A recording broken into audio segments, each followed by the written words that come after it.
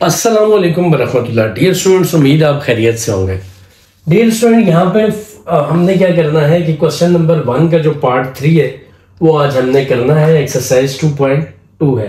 आइए आज हम देखते हैं ये क्वेश्चन कैसे होगा। इस क्वेश्चन के अंदर अंदर उन्होंने कहा है कि आपके पास जो आप प्रिंसिपल अप्लाई करेंगे, वो फ़र्स्ट प्रिंसिपल अप्लाई करेंगे। आपको पता है जब आप फ़र्स्ट प्रिंसिपल अप्लाई करते हैं तो ये करते हैं कि आप जहाँ पे वाई होता है, वहाँ पे डेल वाई लिखते हैं, लेकिन जहाँ पे जो है एक्स होता है, वहाँ पे डेल एक्स लिखते हैं, लेकिन यहाँ पे एक्स के बजाय टी है तो आप क्या लिखेंगे? Del t. डियर अब सेकंड स्टेप ये होता है कि आपने वाई को वहाँ पे जाके क्या करना है? माइनस करना है। ये साथ ही हम क्या करते हैं कि इस t को अंदर मल्टीप्लाई भी कर देते हैं। Three T plus three del T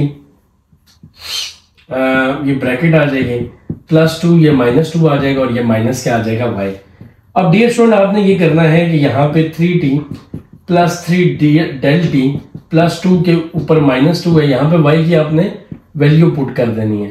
T plus two की पावर क्या आ जाएगी? माइनस टू अब डियर स्टूडेंट आपने ये करना है कि डेल वाई जो है आपके पास इक्वल आ जाएगा। थ्री टी प्लस टू ये आ जाएगा।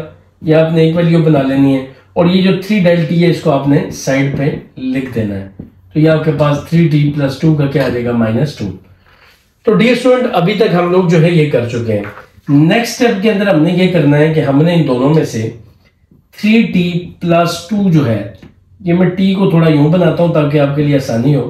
ये आपने लेना है कॉमन तो इधर आ जाएगा वन यह आ जाएगा three del T over three T plus two की पावर माइनस टू और यहाँ पे आ जाएगा माइनस वन अब आप सोच रहे होंगे ये क्या हुआ? ये ये हुआ कि हमने थ्री टी प्लस टू यहाँ से कॉमन लिया बाय तो इसकी जगह वन आ गया।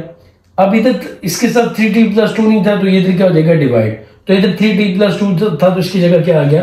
वन डेल वाई अब वो इक्वल आ चुका है आपके पास थ्री टी प्लस टू की पावर माइनस टू अब इसके ऊपर हम लोग लगाएँगे बाइनोमियल ये देखिए बाइनोमियल कैसे लगेगा? ये वन है तो वन आ जाएगा। फिर एन एक्स एन एक्स का मतलब है minus two into x का मतलब है ये वाली वैल्यू यानी कि three del T over three T plus two ठीक है ठीक है स्टूडेंट्स वन का फैक्टोरियल है, वो लिखने की ज़रूरत नहीं है। फिर ये टू फैक्टोरियल आप यहाँ पे वन बाई टू फैक्टोरियल लिखें। फिर अगली बात लिखी हुई है, ये जो एल लिखा हुआ है, ये मतलब होता है फैक्टोरियल यहाँ पे टू है इसका मतलब है माइनस टू फिर टू एन माइनस वन यानी माइनस टू माइनस वन आप सोच रहे होंगे ये एन क्या है तो एन ये माइनस टू वैल्यू है, ठीक है? अब उसके बाद यहाँ पे एक्स का स्केयर आ जाए, यानी कि three del T over three T plus two का क्या आ जाएगा स्केयर प्लस ये करते करते आखिर में क्या आ जाएगा माइनस वन अब डियर स्टूडेंट अगर आप गौर से देखें तो ये वाला प्लस वन और ये वाला माइनस वन ये आपस में क्या हो जाएगी? कटिंग हो जाएगी। कटिंग के बाद आप जो एक काम कर सकते हैं, वो क्या कर सकते हैं? कि ये देखिए डेल बाई इधर है ना, ये आपके पास थ्री टी प्लस टू की पावर माइनस टू आ जाएगा। अब डियर स्टूडेंट जरा आप एक बात समझे। इनमें ना एक चीज़ सब में कॉमन है। देखिए जैसे three del T over three plus T plus two इधर भी है और इधर भी है। तो इन दोनों में से इसको आप कॉमन ले लें। जब आप कॉमन लेंगे तो क्या होगा? यहाँ पे three del T over three T plus two आ जाएगा कॉमन इधर आप देखें क्या रह जाएगा? इधर सिर्फ़ रह जाएगा माइनस टू इधर रह जाएगा ये वन बाई टू फैक्टोरियल, ये माइनस टू, ये रह जाएगा माइनस थ्री, और ये जो है three del T over three plus two का आ जाएगा स्केयर एंड सॉन ये चलता रहेगा। डी स्टूडेंट अब मैंने आपको बताया था कि जो थर्ड स्टेप होता है, अभी हमने दो स्टेप किए हैं। एक y की जगह डेल y ऐड किया है, और दूसरा फिर जो है हमने y को दूसरी साइड पे लेके गया तीसरा स्टेप ये है कि दोनों साइड पे डेल x से आप क्या करें डिवाइड करें। तो जब हम दोनों साइड पर डेल एक्स से डिवाइड करेंगे, और सॉरी डेल x से नहीं करना, यहाँ पे डेल टी से करना है। क्योंकि यहाँ पे जो वेरिएबल है वो x नहीं है। यहाँ पे जो वेरिएबल है वो क्या है? टी है। तो आपने जो राइट साइड पे जो वेरिएबल होता है, उसके मुताबिक करना होता है। तो जब आप करेंगे तो ये वाला डेल टी और ये वाला डेल टी आपस में कट जाएँगे। जब ये कटेंगे तो आपके पास जो है, ये आ जाएगा। वैल्यू जो है, ये आ जाएगी del Y by del T is equal to ये आपके पास आ जाएगा थ्री टी प्लस टू की पावर ये आ जाएगी माइनस टू ऊपर रह जाएगा थ्री और नीचे रहेगा थ्री टी प्लस टू और यहाँ पे आपके पास वैल्यू आ जाएगी minus two plus one over two यह आ जाएगी टू थ्री जर सिक्स और ये आ जाएगा three del T over three T plus two अच्छा यहाँ पे ना ये स्केल था तो एक कॉमन आ गया तो फिर ये क्या रह जाएगा? एक रह जाएगा। ठीक है प्लस सॉन अब डियर स्टूडेंट्स जरा देखिएगा, अब हम लोग अप्लाई करते हैं लिमिट तो जब हम लिमिट अप्लाई करेंगे तो लिमिट दोनों साइड पे करेंगे. Limit del X approaches to zero इधर भी, और limit del X approaches to zero इधर भी. तो जो वैल्यू है, ये आ जाएगी D Y by D X के इक्वल इस पर भी लिमिट अप्लाई नहीं होगी, इस पर भी. तो ये आप एज इट इज़ लिख सकते हैं.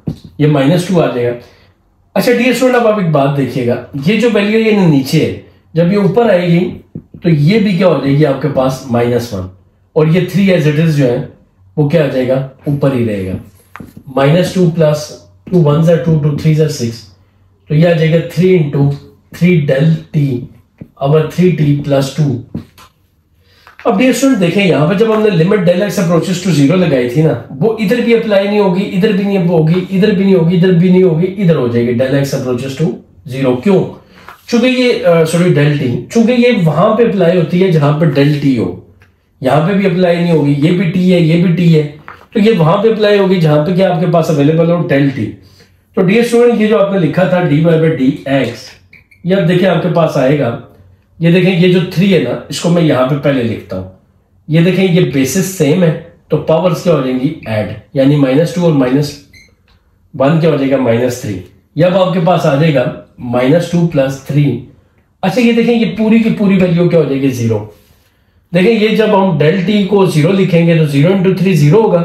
जब ये इससे डिवाइड होगा तो ज़ीरो होगा। और थ्री इंटू ज़ीरो भी क्या हो जाएगा? ज़ीरो और जब आप इस ज़ीरो को माइनस टू के अंदर ऐड करेंगे तो यहाँ पे सिर्फ़ क्या रह जाएगा? माइनस टू तो जब आप माइनस टू को इससे मल्टीप्लाई करेंगे तो ये आ जाएगा माइनस सिक्स और ये हो जाएगा थ्री टी प्लस टू की पावर माइनस थ्री तो डियर स्टूडेंट ये इस क्वेश्चन का क्या है आपके पास आंसर है?